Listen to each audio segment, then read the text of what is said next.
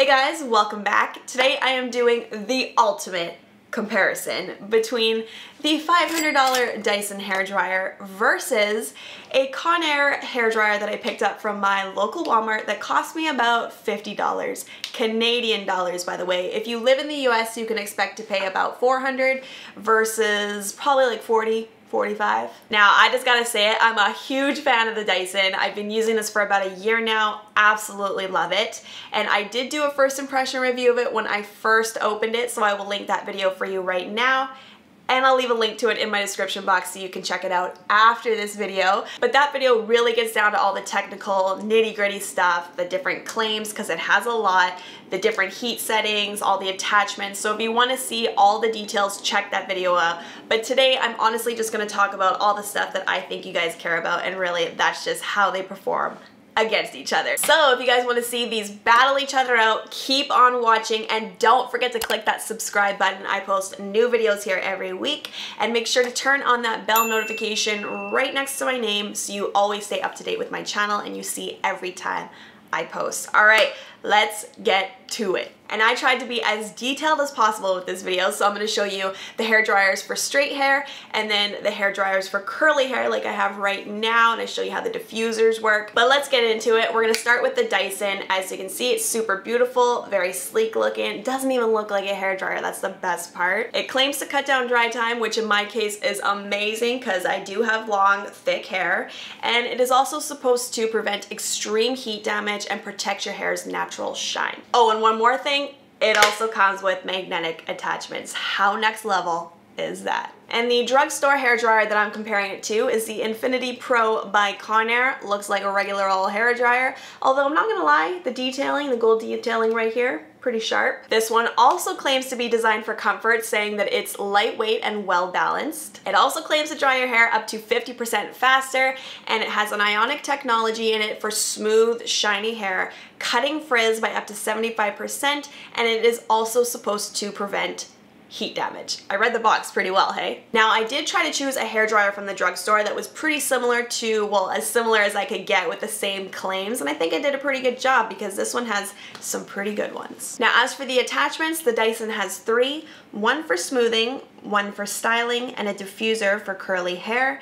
And the Conair comes with two attachments, one concentrator for versatile pinpoint styling, and one diffuser again for curly hair. And finally, before we start, just to discuss wattage in case you guys care about it, the Dyson has 1600 watts and the Conair has 1850 watts. All right, I'm starting off with the Dyson and I'm using it on the medium airflow setting and medium heat setting. There's three options for both and I'm starting the clock. I give my hair about 10 to 15 minutes after the shower before I start blow drying so it's not soaking wet when I start and I made sure to do that for each of these blow dry sessions. Notice how I'm holding the hair dryer by the handle, as you're supposed to, but I do have to give it to the Dyson for how lightweight it is. Now I stopped the clock at 3 minutes and 15 seconds because my hair is about 75% dry and this is when I'll move on to round brushing. So I'm just grabbing the styling concentrator, started the clock back up and I started the round brushing process. This smooths and straightens my hair out nicely so I have to do very little work with the flat iron afterwards which I like. 8 minutes and 18 seconds is how long it took to completely dry my hair and smooth it out. I think it looks great. It's super smooth, has a nice shine to it, and I managed to get it pretty darn straight. That's actually one thing I love about round brushing with the Dyson is you usually see great results afterwards. All right, now on to the Conair. I'm starting off on the low speed setting and pushing go. So same thing, I start by rough drawing my hair, but then I noticed I had to turn my speed setting up higher because the low just wasn't doing it for me. And notice how my hand has moved to the top and I'm not holding it by the handle anymore. Having the motor in the handle of the Dyson really does make a difference because clearly this one was uncomfortable and too heavy, making me hold it by the top where I find that I do hold most of my hair dryers. I also noticed my hair kept getting way more tangled with the Conair. And at 3 minutes and 40 seconds, my hair is 75% dry, which is not bad compared to the Dyson at 3 minutes 15 seconds. Notice how much harder it is to put on the attachments, not to mention how much more bulky it just became. All right, let's go. Still holding it by the top and not the handle, but it's still smoothing it out and doing the job. The Conair finished at 9 minutes 41 seconds compared to 8 minutes 18 seconds. Again, not a huge difference, so that's a plus. Now, I find the hair doesn't look as smooth and definitely not as straight because you can see some waves. Doesn't have as much volume or shine, and it actually feels a little bit dry. And you can definitely see that frizzy curl underneath in this shot. Let's look at a side by side of the two. I think it's clear that Dyson takes it for me because it looks so much more healthy and sleek looking, way more shine. Now onto the curly comparison. I'm going to start with the Conair hair dryer this time, attach that diffuser and start the clock. I flip my hair when I do this because I personally think I get better results when I do it that way. And this happened. My hair kept getting caught in the dryer. I had to keep pushing the hairs away. It kept getting stuck. It was terrible. It sounded terrible. It felt terrible. Uh, but the hair was dry at 4 minutes and 2 seconds, which was not bad. Not bad at all. Definitely have some curl. I think it looks pretty good, but the hair getting stuck in the dryer repeatedly really ticked me off.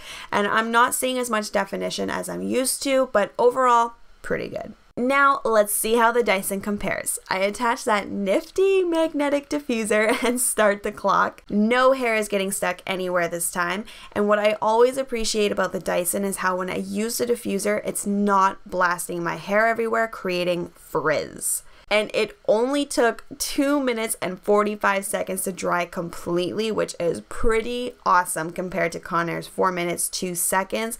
I think it's pretty obvious. I have way more volume and definition and the hair looks super shiny. When I first looked at it, I thought it was still damp, but I had to make sure it wasn't, and it was actually just that shiny. Let's look at them both side by side. First thing I notice, I definitely need a haircut. Look at those straggly ends, but I think it's clear. Dyson takes it again. It has way more volume, curls look way more defined, whereas the Conair side just looks wavy, and I think that's all I gotta say about that. Now, when I first started this, because you guys know I love a good drugstore dupe. I like, it's like my mission to find good drugstore dupes for higher end products.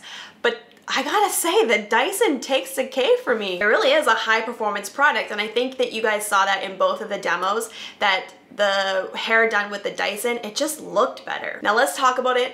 I know it is an expensive hair dryer. You might go broke purchasing this hair dryer or you might be set back in rent money this month. But here's when I say it's worth it to buy the Dyson. If you want smoother, more shiny, healthy looking hair, I totally think it's worth it because it definitely gives it to you. It also has this really nice fullness factor, whereas the Conair didn't. It just looked a little bit more limp, a little bit more flat, kind of stuck to the head. But the Dyson, whoo, that's volume. Now, if you're buying it for the speed, that's when I say I don't think it's worth it because I only noticed about a minute, maybe two minute difference off of my current routine or off of the $50 hair dryer. So that's when I would say I don't think it's it's worth it. I don't think it's gonna really make that much of a difference for your current routine and it's definitely not worth 500 bucks for a two minute savings. And that's it. I am so glad that I did that comparison and I will just continue living my life with my Dyson because it's the bomb. Leave me a comment and let me know which hair dryer do you think is worth the money. I really hope you guys liked this video. Give me a thumbs up if you did. Subscribe if you're new and also check out my vlog channel, Life with Trina. I'll put a box right here. Click